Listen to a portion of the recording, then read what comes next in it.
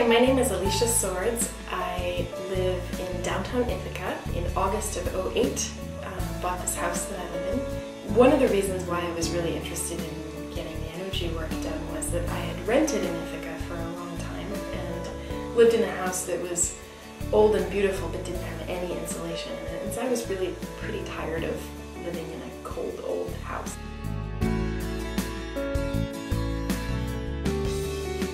As soon as Snug Planet came here and did the energy audit, they were very aware that there was very little insulation in the walls here either. There was minimal insulation in the attic. The basement wasn't insulated at all. Whoever had redone the floors at that point and put a whole layer of newspaper. So we found a layer of 1922 newspaper on the whole surface of the first floor.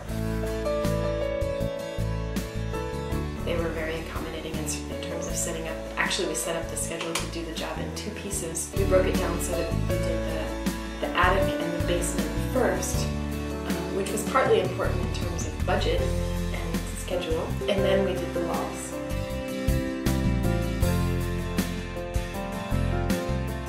I guess I had imagined like an incredibly dusty, dirty process where I'd be living in a dust hole for months, and it wasn't like that at all. It was always cleaned up by the time I got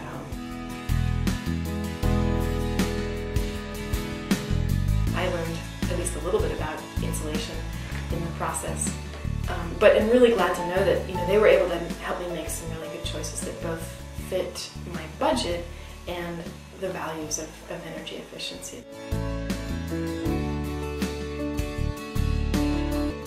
Well, in a very simple way, the furnace is on much less and my heating bills are significantly